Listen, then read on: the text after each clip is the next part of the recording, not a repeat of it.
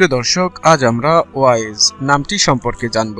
এই নামটি ইসলামী নাম কিনা এর অর্থ কি, বা এটি কোন ভাষার শব্দ, সে সম্পর্কে আলোচনা করব। তো আসসালামু আলাইকুম দর্শক, আপনারা দেখছেন আবদুল্লা ভিদি ইসলামে সুন্দর নাম রাখার ব্যাপারে বেশ তাগিদ দেওয়া হয়েছে। মুসলিম শরীফের এক হাদিসে এসেছে, প্রত্যেক মানুষের উপর তার নামের প্রভাব পড়ে, তাই আমাদের উচিত সুন্দর অর্থবহ ইসলামিক নাম রাখা। যদি প্রশ্ন করেন, ওয়াইজ নামটি কি ইসলামিক নাম? হ্যাঁ এই নামটি একটি ইসলামিক নাম।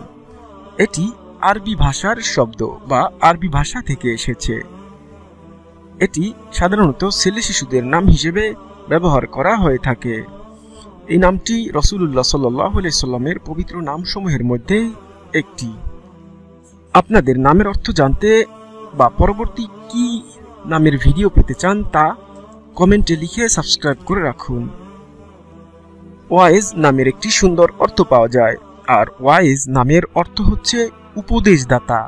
ওয়াইজ নামটি এভাবেও রাখতে পারেন যেমন মোহাম্মদ ওয়াইজ আবদুল্লাহ আল ওয়াইজ আব্দুল ওয়াইজ ওয়াইজ হোসেন কিংবা ওয়াইজ ইসলাম।